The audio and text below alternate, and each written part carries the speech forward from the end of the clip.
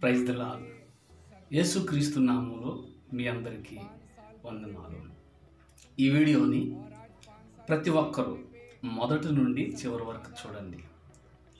ప్రియమైన సహోదరి నా సహోదరులారా యేసుక్రీస్తు ప్రభువారు బైబిల్లో ఒక మాట చెబుతున్నాడు. మనుషుల ఎదుట నన్ను ఎవరైతే ఒప్పుకుంటారో వారిని నేను తండ్రి ఎదుట ఒప్పుకుంటానని బైబిల్లో సెలవిచ్చాడు. నన్ను గనపరచు వారిని నేను గనపరచుదును అని ప్రభువారు సెలవిచ్చారు.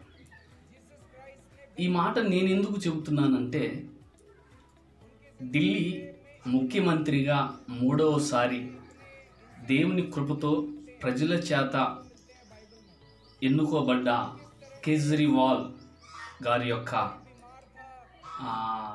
విశ్వాసాన్ని మనం ఒక్కసారి వినే ముందు ఈ కొద్ది మాటలు కూడా మీరు వినాలని నేను కోరుతున్నాను.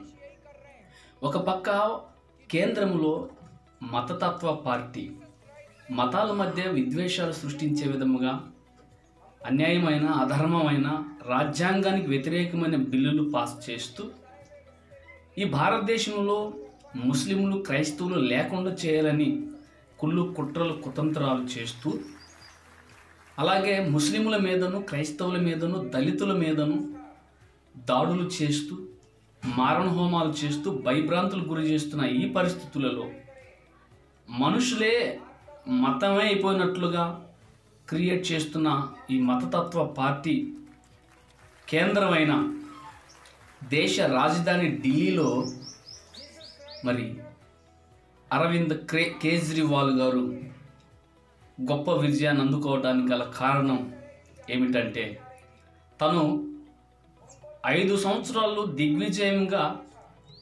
ఢిల్లీ ముఖ్యమంత్రిగా పదవిని నిర్వహించాను అంటే దానికి కారణం యేసుక్రీస్తు ప్రభువారిని బహిరంగంగా మనుషుల ఎదుట ఒప్పుకున్నాడు.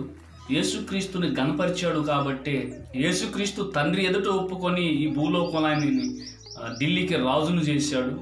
దేవుణ్ణి యేసుక్రీస్తుని గనపరిచాడు కాబట్టే కేజ్రీవాల్ని యేసుక్రీస్తు గనపరిచాడు ఈ ఐదు సంవత్సరాలు కూడా నేను యేసుక్రీస్తు ప్రభు మాటలో బాటలో బోధలో నేను ఈ ఢిల్లీ గవర్నమెంట్ని నేను నడిపించానని ఇప్పటివరకు ఈ భారతదేశంలో ఏ ముఖ్యమంత్రి కూడా చెప్పలేని రీతిలో ఆఖరికి మన ఆంధ్రప్రదేశ్ ముఖ్యమంత్రి గారు ఇంకా అనేక మంది క్రైస్తవులు ఎవరు కూడా చెప్పలేని రీతిలో కేజ్రీవాల్ గారు బహిరంగంగా మరి నార్త్ సైడు చెప్పడం జరిగింది.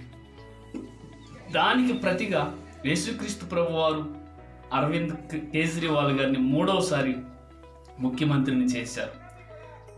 ముఖ్యమంత్రులైనా మంత్రులైనా ఎమ్మెల్యేలైనా ఎంపీలైనా అధికారులైనా నాయకులైనా ఎవరైనా కాబట్టి ఎవరైనా కావచ్చు యేసుక్రీస్తు చేసిన మేలులు మర్చిపోయి రహస్యంగా ఉంటే మీ జీవితాలు ఎప్పటికి కూడా రహస్యంగానే మీరు ముగించవలసి వస్తుంది మీ పదవులు మీ అధికారాన్ని. యేసుక్రీస్తు కొరకు బహిరంగంగా వస్తే నిన్ను కూడా మిమ్మల్ని బహిరంగంగా గనపరుస్తాడు అనటానికి నిదర్శనం కేజ్రీవాల్ గారే. మరి ఈ వీడియోని మీరు మొదటి నుండి చివరి వరకు చూడాలని ప్రేమతో हमारे सरकार के पाँच साल पूरे हुए और आज पाँच साल पूरे होने पे सबसे ज़्यादा संतुष्टि इस बात की है कि ये पाँच साल हम लोगों ने जीसस क्राइस्ट के बताए हुए रास्ते पे सरकार चलाने की कोशिश की।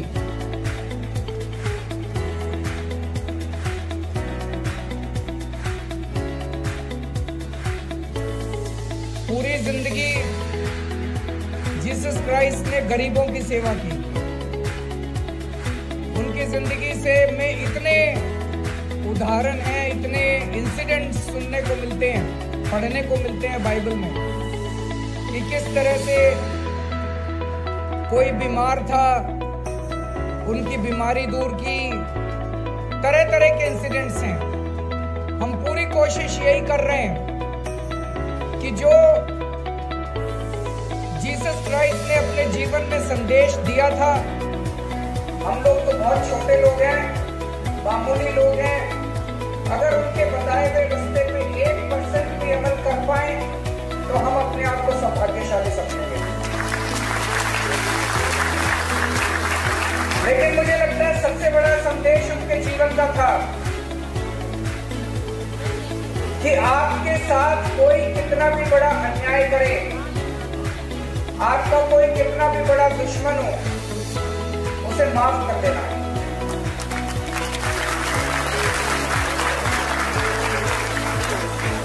जीसस क्राइस्ट को जब अंतिम क्षण थे उनके, और उनको तरह तरह की यातनाएँ दी जा रही थी, उनको तरह तरह से प्रताड़ित किया जा रहा था। तब भी वो अंतिम क्षण में भी उन सब लोगों को माफ़ कर देते हैं, जिन लोगों ने उनको इतनी बड़ी बड़ी यातनाएँ मैं अपने मन में सोच रहा था, क्रिसमस वाले दिन जब मैं चर्च में गया था तो मैं